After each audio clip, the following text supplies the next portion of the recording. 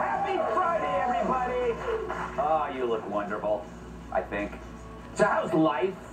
I know, you got inflation, you got crime, we're on the brink of nuclear war. But thank God these bozos have their priorities straight. that the committee direct the chairman to issue a subpoena for relevant documents and testimony under oath from Donald John Trump. Those in favor will say aye. Aye. aye. Mr. Chairman, on this vote, there are nine ayes and zero noes. The resolution is agreed to. Mmm, nine eyes like a fly. Is that right? I don't think so. I don't think, no, I don't think so either. But there's a shocker. Just 25 days before the midterms, the Jan 6 panel votes unanimously to subpoena Trump. That's about as surprising as the final score at a Harlem Globetrotters game. And it's about as spontaneous as Adam Schiff's face. Does that make sense? No. And what a coincidence. It happens the same day the inflation number comes out, and it's higher than Hunter Biden on free crack day. Crime is exploding like a can of Sprite left in a freezer too long. The borders are as open as the West Wing's windows when Joe forgets his Lactaid pills. Kids are getting dumber, and I have to walk over a drugged out zombie just to get to work. So why not? Let's go after Trump, screams the Dems. This guy's been in more fake trials than the cast of Law and Order. But the hope is the news cycle will shift from Biden's disasters to the orange monster who can make Adam Kinzinger cry like he's cutting onions while his nuts are a. Terrible. So will this distraction overwhelm the public enough that they'll forget it costs a hundred bucks to fill up a tank of gas or 15 bucks for a pack of hot dogs? You heard right. Joy Behar's lunch costs 15 bucks. 15 bucks, it's true, for a pack of hot dogs. Did someone blow up the Oscar Mayer pipeline too? Can't the president tap into our tube steak reserves? Look, surveys tell us everyone, what everyone cares about at 8 Jan 6. It's the economy, it's crime. January 6th is less important than Todd Piro's time slot. Someone's watching. Probably your family. Here's why. January 6th is not eating away at your retirement fund. It's not mugging people on the subways. It's not killing people by the tens of thousands like fentanyl. And it's certainly not elevating possibility for nuclear war as we pour billions into a conflict thousands of miles away. And I don't mean Kat's honeymoon. Each one of those things is an urgent matter. People are dying on the streets, in their beds, and soon maybe everywhere else. They have us so close to a nuclear disaster you can practically taste the plutonium, which reminds me of Dana's queso.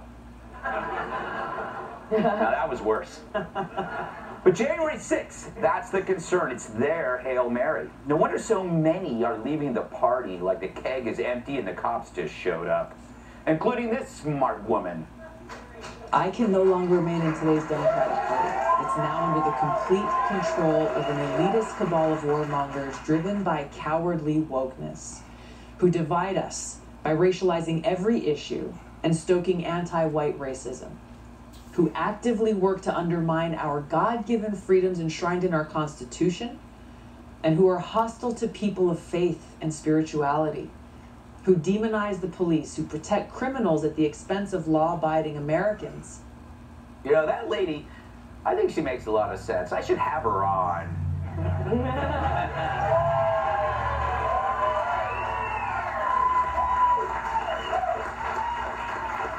but don't fret, Democrats. You lost to Tulsi, but you gained to Liz Cheney. But I'm starting to think the Dems screwed up with this insurrection theater. I predict it's going to backfire like Eric Swalwell after an extra large bean burrito. It's not going to jail Trump, it's going to get him reelected. There's going to be a red dawn starting with an orange dawn. And here's why. Anytime you watch the hearing, you see that the committee was more stacked than Dolly Parton playing Jenga.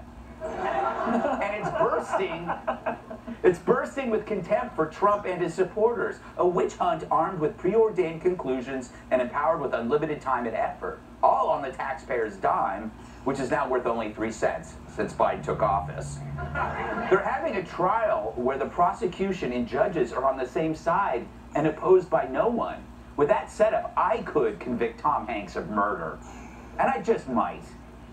And it just validates Trump supporters' suspicions that the fix is in and the fix was always in. So the Dems are right. The hearings are going to anger some Americans, but not in the way they think. People don't swallow BS unless, um, even when you hide it in kill meat sandwich. Fact is, this country has big problems: economy, crime, the border, Harry and Meghan. what are we going to do with them? But the Dems work to distract rather than attack the problems. Imagine if they spent all their energy on these issues instead of political theatrics.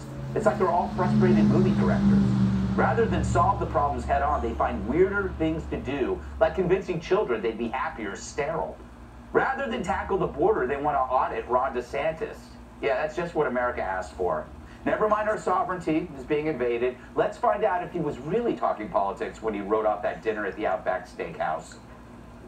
They'll weaponize anything against their enemies. It's just like how Taylor Swift weaponized her music after I dumped her.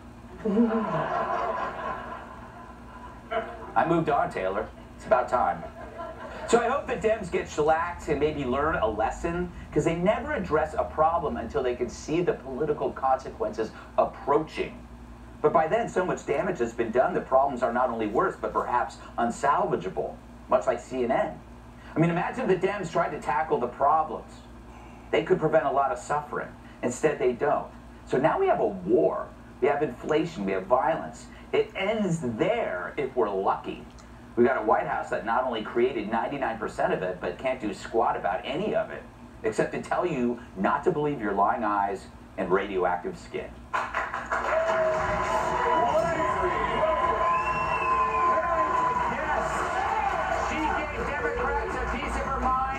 It's the most brains they've had in years. Former presidential candidate, host of the Tulsi Gabbard Show podcast, Tulsi Gabbard. If he's the first thing you see upon waking, you're either watching Fox or he broke into your house. Co-host and Fox and Friends first, Todd Piro. She's like a Reese's Pieces. Tiny, shiny, and smells like peanut butter. Fox News contributor Kat Timpf. And he defeats people with his skull by outthinking them and also headbutts. My massive sidekick and NWA World Television Champion, Tyrus.